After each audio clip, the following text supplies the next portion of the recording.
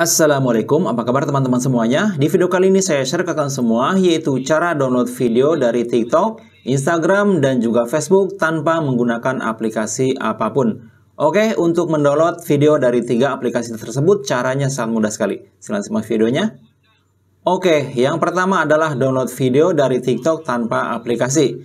Pertama, ketika videonya sudah dibuka, klik ikon titik tiga yang ada di sebelah kanan ini, setelah itu pilih salin tautan.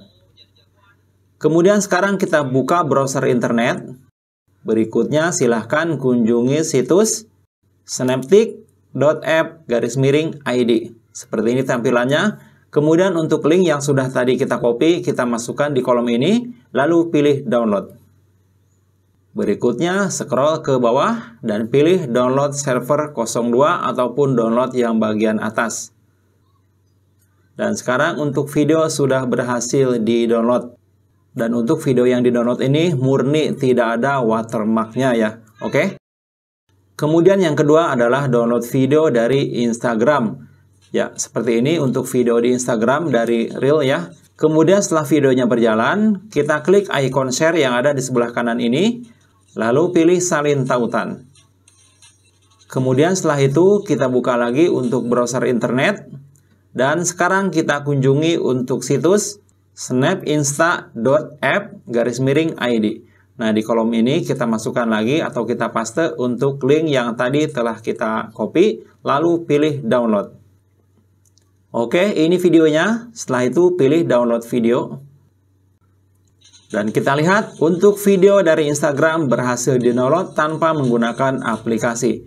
Kemudian yang ketiganya adalah download video dari Facebook.